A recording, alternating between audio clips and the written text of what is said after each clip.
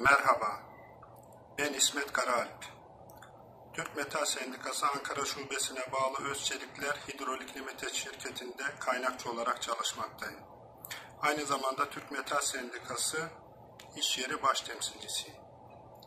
Bana göre Türk metalli olmak, emek, alın teri ve hak mücadelesi veren, başında da çok büyük, deyim yerindeyse bir savaş dehası komutanı olan, eğitimli, son derece disiplinli askerleriyle mücadele edip çok büyük zaferler kazanan ve kazandıklarını da tekrar askerleri için harcayan, sürekli de büyümeyi hedefleyen, gün geçtikçe de büyüyen bir hak arama ordusudur.